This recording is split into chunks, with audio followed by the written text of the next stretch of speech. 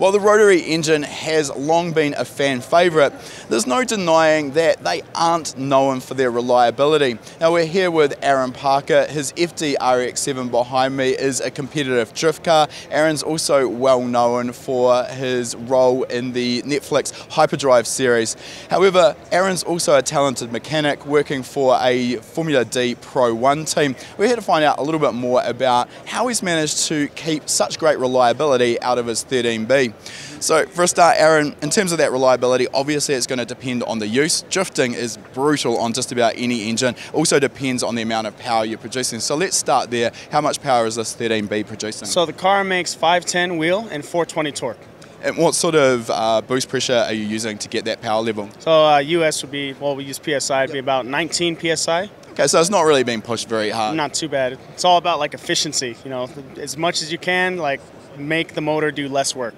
And what sort of fuel do you get to run it on? Uh, ethanol. So I'm using pump. Uh, I tune it on like street pump uh, ethanol or E85, but whenever I can, I'll use like Ignite 114. So it's uh, just a higher octane ethanol blend. All right, so what do you need to do to a 13B out of an FDRX7 if you want a reliable 500 plus wheel horsepower? Uh, you know, as difficult as it sounds, it's really not. You just need to make sure that the maintenance you're upkeeping on, you got to have good plugs, you got to have really good oil. You need to make sure that it stays cool, which drifting is not going to do that to a car. But um, I guess you just really need to make sure the maintenance is upkept all the time and that things are right from the beginning. You know, you start patching things and then it's just never going to work. Now, in terms of the internal components, this is an area where uh, there's a huge variation between what we do in the piston tuning world or piston engine building world and the rotary engine building world. You see, we've got a, a, huge range of aftermarket components in terms of piston engines, not so much in terms of the internal components of the rotary engine. Right, so, right. what have you got there? Are you still running relatively stock internals? Yes, yeah, so it's uh, Mazda rotors, all six, uh, I'm sorry, all Series 6. A lot of people mix those things up. We've just kept with the S6 block. Uh, the only thing that is aftermarket in there is my Apex seals, which are going to be PTS seals. All right, so that, that's one of the key areas. We see a lot of failures with rotary engines as broken Apex seals, and there's a huge amount of debate, argument, misunderstanding, misinformation yeah, about yeah. the uh, factory Mazda seals versus the aftermarket seals. And then even when we get into the aftermarket seal world, there's a huge range of options. Everyone has their favorites, the pros and cons. Yeah. So can you tell us why it's necessary to go from a stock Mazda seal to the PTS? Yeah, well, the Mazda factory seals are actually pretty good, but in this case, uh, we're not doing the same thing as Mazda intended, mm-hmm. which is drifting. You know, you have start, stop. These cars see like no cooling. There's no cool down laps or anything like that. So we pretty much premix yep. just to try to help with wear characteristics uh, of the apex, which is ultimately the failure point at the end. Yeah. You know, so if you got a good motor, it's not just going to blow up. Your apex seals are not going to fail. It's just going to slowly, slowly lose compression. Okay. Yeah.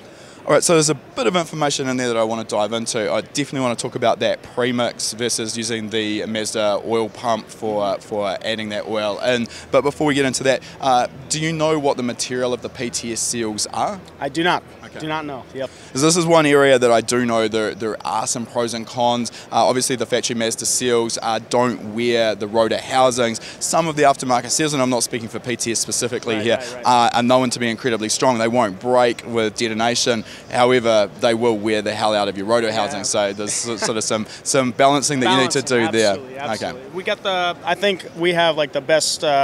Wear characteristics out of this seal. I'm not saying it's right for every application, but for us, this seal works perfect. Doesn't wear the housings too much, um, but at the same time, so you don't want to lose compression from the from the get-go because then the motor's not going to last long. You know.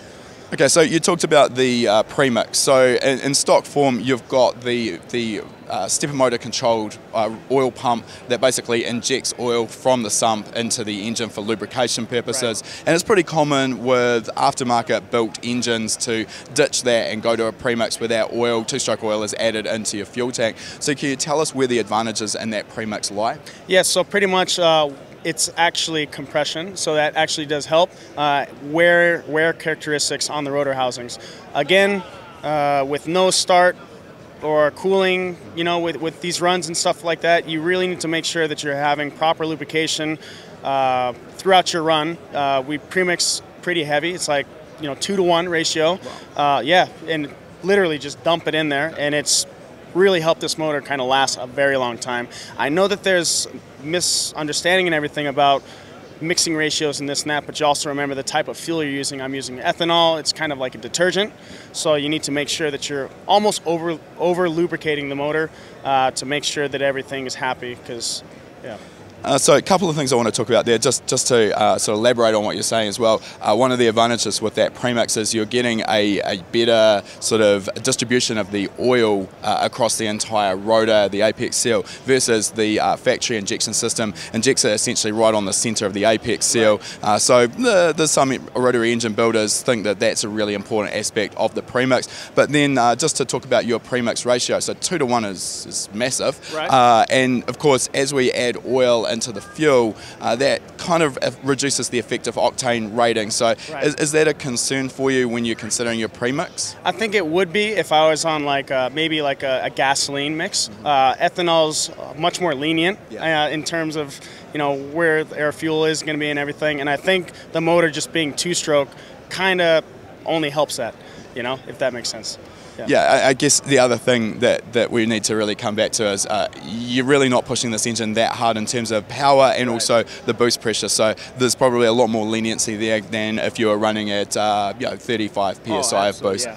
Now the intake system on the engine, this is kind of the the area where huge huge amounts of power can be gained with the rotary engine with porting options. There's uh, extend ports, there's bridge ports, peripheral ports, etc. The list goes on. Everyone's got their own take on what's superior. Can you tell us what you're running here? Yeah, so I've got a semi-peripheral port. It's uh, two small, about inch holes uh, in each rotor housing, mm-hmm. along with uh, street ported. I don't know what you guys would call it over there. Extend port, maybe. Extend port, yeah, on the side ports, and then uh, big exhaust ports. And pretty much we're just trying to utilize or get as much air into the motor as possible with two additional ports on the rotor housing.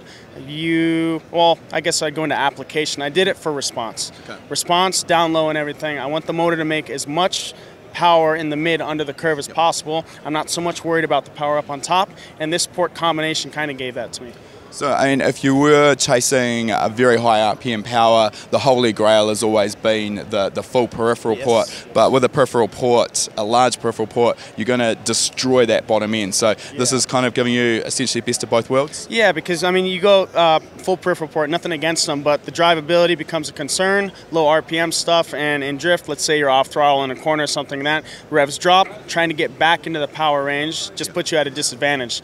Whereas a guy with, like, let's say, like a blown V8 or something, he has he's got twice torque and twice the horsepower at three grand, and you're not even making anything you know, at, at, the end of the day, you do still have a small capacity engine, Absolutely. so you've got to make everything work properly for response. Now, on, on that note, and I do know that you're not running it at the moment, but we do see that the car is also set up with a nitrous system. Yes. So, can you talk to us about that and how you intend to use it? Yeah, so uh, I'm pretty much using nitrous to fill in the gaps of having a small displacement engine in the first place. It's going to be set up on the TPS and throttle parameters so that full 100% throttle or 80% throttle, only between three and four grand. So a window of nitrous operation just to help the turbo get online so that it can do its thing for the rest of the power band. So you're essentially using it as a form of anti-lag? Uh, yeah, yeah. You know, low end uh, boost. Pretty get that instant response. Yeah, to get uh, make up a hole for torque that low uh, what are they called? Yeah, no, un- understood. Get, yeah, yeah, yeah. Getting that turbo up up on boost, so filling in that hole in the low RPM. Right. Uh, in terms of that turbo, we haven't actually talked about what you're running there, so can you fill us in there? Yeah, so it's a BorgWarner 8474. I came from the 8374. Both are awesome turbos. I went slightly larger mm-hmm. because I plan to use uh, nitrous now to kind of make up, I guess, the window that I'd be losing in response. Now that's interesting. The 8474 is a relatively new turbo from the BorgWarner lineup. Uh, we've actually got one ourselves. Unfortunately, hasn't been on the dyno yet, and this is an area where there's uh, very scarce information on the comparison between the 8374 and the 8474. Mm. Uh, given that you've got first-hand experience, can you tell us for the same amount of boost, are you making more power with the 8474? So technically, slightly less. Okay. You know, so I, it's one horsepower. But again, you know, this motor is three years old. I would say that the 8474 is more efficient, but I don't know if I'm running a high enough boost pressure to really utilize its you know, yeah, probably 19 psi. You're kind of only really just uh, right. yeah get just getting into it. Yeah, with the new motor, I'll probably raise the boost a little more, get into that, and it'll be a better comparison. But I couldn't say for sure. I will say the drivability I noticed uh, immediately, but that's just because I'm pretty uh, in tune of what's going on. I lost a hair of response. I don't think it really mattered so much. I just noticed it. You know, but with again, once I turn nitrous on, that could be a whole different ballgame. Look, Aaron, it's been great to get some insight into the car. Look forward to uh, tracking your progress next year as you enter the Formula D uh, Pro 2 ranks. Uh, wish you all the best with a new combination with that nitrous active. Thanks for the chat. Thanks, man. Have a good one. If you like that video, make sure you give it a thumbs up. And if you're not already a subscriber, make sure you're subscribed. We release a new video every week. And if you like free stuff, we've got a great deal for you. Click the link in the description to claim your free spot to our next live lesson.